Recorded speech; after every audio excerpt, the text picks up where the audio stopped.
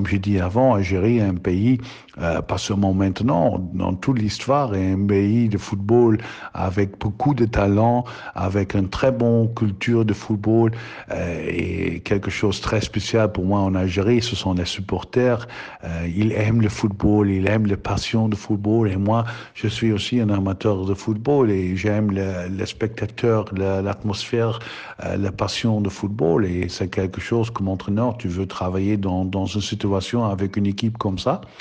Euh, mais maintenant, il n'y a pas un vacature. Jamel va rester au, Algérie. Moi-même, je suis aussi toujours entraîneur du Gambie.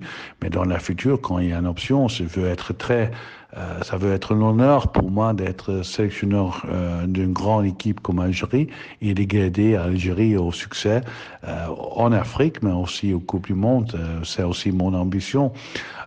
dans le cas des clubs, j'ai parlé les dernières années plusieurs fois avec quelques clubs, mais je dois dire pour le moment, mon ambition est vraiment de travailler avec des équipes nationales